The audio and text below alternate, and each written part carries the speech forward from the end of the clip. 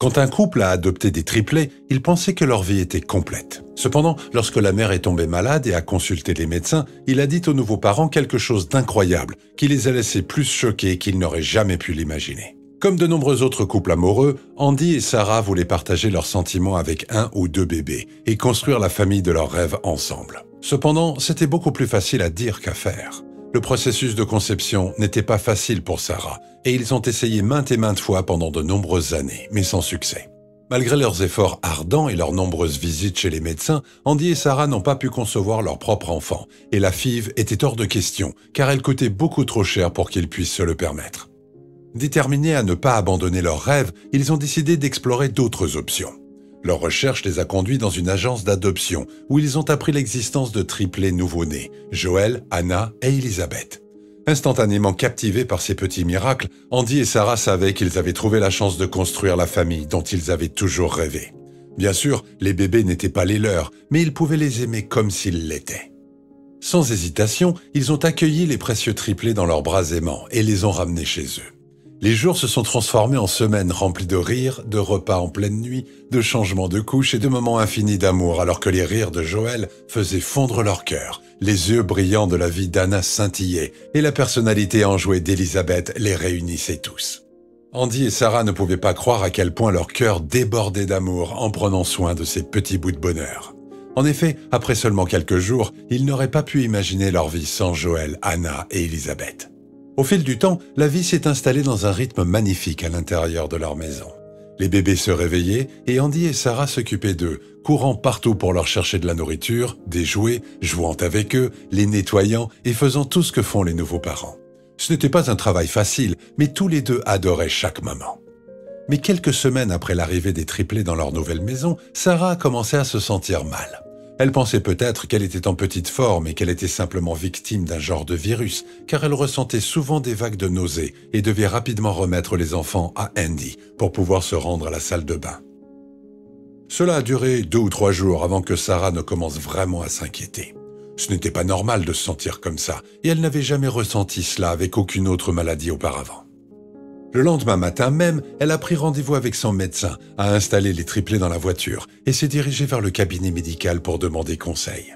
Elle ne pouvait pas s'occuper correctement de Joël, Anna et Elisabeth, tout en se sentant si malade et nauséeuse. Même le trajet jusqu'au cabinet du médecin lui donnait la nausée. En sortant de la voiture à son arrivée, elle prit quelques grandes respirations de l'air frais du matin et essaya de se ressaisir alors qu'elle déchargeait les triplés de la voiture. En entrant dans le cabinet du médecin, Sarah a commencé à expliquer sa condition et comment elle se sentait par moments nauséeuse et submergée par la maladie. Le médecin écouta attentivement tandis qu'elle lui décrivait ses mots, hochant la tête, posant des questions au besoin. Lorsqu'elle eut fini, le médecin demanda à Sarah si elle avait continué à dormir avec son mari depuis qu'ils avaient décidé d'adopter les triplets. Sarah fronça les sourcils et confirma que oui. Le médecin hocha la tête et prit des notes sur son ordinateur. La confusion de Sarah se transforma soudainement en réalisation lorsque quelque chose lui vint à l'esprit qu'elle n'avait même jamais envisagé. Ce n'était pas une simple maladie. Elle était enceinte. D'une voix tremblante, elle demanda au médecin s'il croyait qu'elle était au début de sa grossesse. Le médecin lui dit qu'il ne pouvait pas en être sûr, mais tous les signes pointaient vers oui. Cependant, pour confirmer sa suspicion, il devrait faire une échographie de son ventre. Allongé sur le lit, le médecin se mit au travail, palpant et échographiant le ventre de Sarah, examinant les relevés sur un écran qui n'avait de sens que pour lui. Après quelques longs moments, il retira l'appareil d'échographie et tendit à Sarah un mouchoir pour essuyer le gel d'échographie étalé sur son ventre. En le faisant, il sourit et prononça un simple mot qui changea à jamais la vie de Sarah.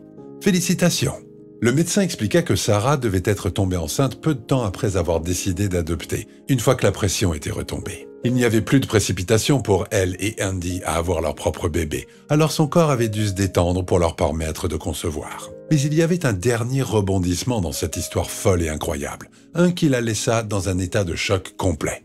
Vous voyez, Sarah n'était pas simplement enceinte d'un enfant. Non, elle attendait des jumeaux. Sarah ressentit toutes les émotions à la fois.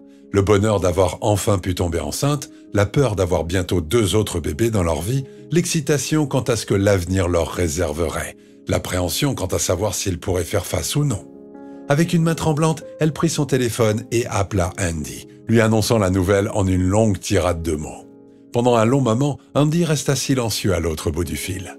Mais il se réjouit bientôt, clairement ravi que Sarah soit enceinte.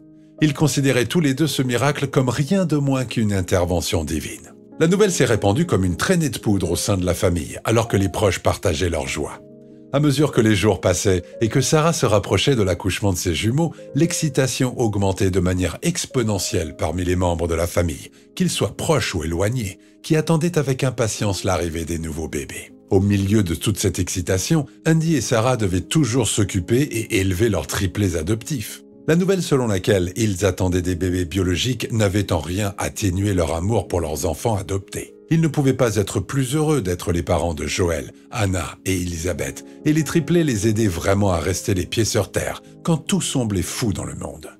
Même lorsque Sarah prenait du volume avec les jumeaux qui grandissaient en elle, elle restait une mère active et impliquée pour les triplés. Le jour arriva enfin où Sarah entra au travail après neuf mois d'anticipation. Des amis se rassemblèrent à l'hôpital en attendant anxieusement des nouvelles, tandis que d'autres attendaient avec impatience les mises à jour des membres de la famille à l'intérieur de la salle d'accouchement. D'autres membres de la famille s'occupaient des triplés, tandis qu'Andy rejoignait Sarah dans la salle d'accouchement pour accueillir l'arrivée des jumeaux. Dans ce qui semblait être une éternité, mais qui ne dura que quelques heures, des cris emplirent l'air, signalant l'arrivée de deux autres magnifiques miracles. Andy, les larmes de joie coulant sur son visage, reçut leurs nouveau-nés jumeaux, Abigail et Andrew.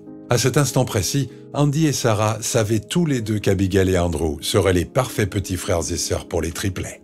Le lien entre Joël, Anna, Elisabeth et leurs nouveaux frères et sœurs grandissait chaque jour.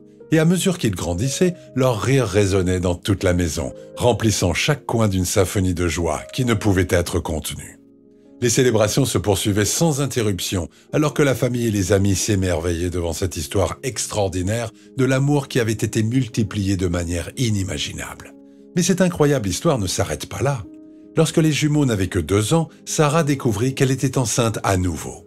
Lorsque le petit Caleb est né, la famille était enfin complète. Bien sûr, c'était un foyer tumultueux qui était toujours en mouvement, mais c'était ainsi que tout le monde l'aimait. Et ainsi, ils ont continué à vivre.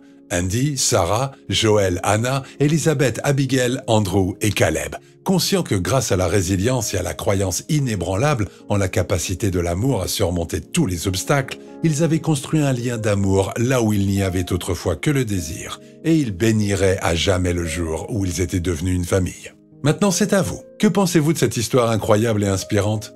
Auriez-vous été assez courageux pour adopter trois magnifiques triplets? Comment auriez-vous réagi si vous aviez découvert que vous attendiez des jumeaux en plus de tout cela? Comme toujours, nous adorons vous lire, alors n'oubliez pas de laisser vos réflexions et opinions dans la section des commentaires ci-dessous.